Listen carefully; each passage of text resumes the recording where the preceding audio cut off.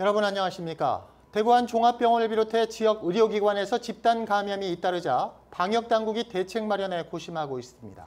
간병인과 보호자에 대한 선제적인 검사로 병원 내 감염을 차단하는 방안이 검토되고 있습니다. 박정 기자입니다. 대구의 한 종합병원. 지난 21일 이곳 병동에서 근무하던 간병인이 코로나19 확진 판정을 받은 뒤 지금까지 27명이 확진됐습니다. 환자 14명, 보호자 7명, 직원 6명인데 아직까지 의료인 감염은 확인되지 않았습니다. 그제 확진된 이후 이곳 병원에 입원한 80대 남성 환자가 폐렴 증상 악화로 숨진 가운데 확진자가 나온 병동에 백신을 접종하지 않은 중증 환자가 많아 환자 26명을 코호트 격리하고 심층 역학 조사를 벌이고 있습니다.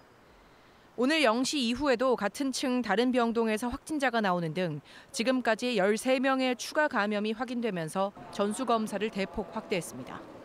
이런 경우에는 뭐 1번에서 27번까지 쫙 연결되는 그런 건 아니잖아요. 순식간에 이루어졌기 때문에 그래서 전반적인 어떤 각자의 감염원이 다를 수 있기 때문에 그런 거에 대해서 다 파악하고 동구의 한 병원에서도 원무과 직원이 확진됐고 수성구 또 다른 병원에서는 간병인이 양성 판정을 받는 등 최근 2주 사이 6개 의료기관에서 51명의 확진자가 나왔습니다.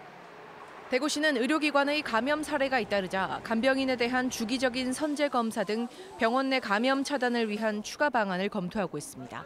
세대 간병인에 대한 주기적인 검사의 필요성 그리고 또 보호자들도 검사를 하고 어, 면회를 허용한다든지 의료계와 또 방역 전문가 자문단과 함께 상세한 방안을 짜서 오늘 지역의 코로나19 신규 확진자는 대구 73명, 경북 31명이고 0시 이후 대구 75명, 경북 71명입니다.